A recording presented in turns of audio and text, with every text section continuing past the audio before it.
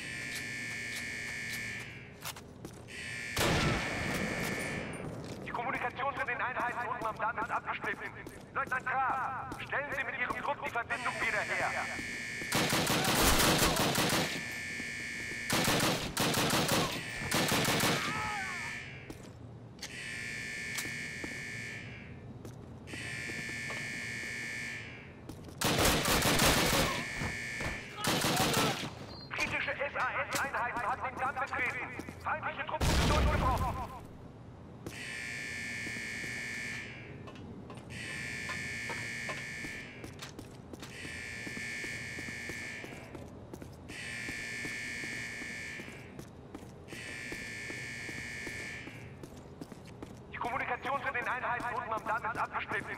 Leutnant Krah, stellen Sie mit Ihrem Trupp die Verbindung wieder her. British Commando. We have captured your commanding officer and secured the exit. You have no hope of escape.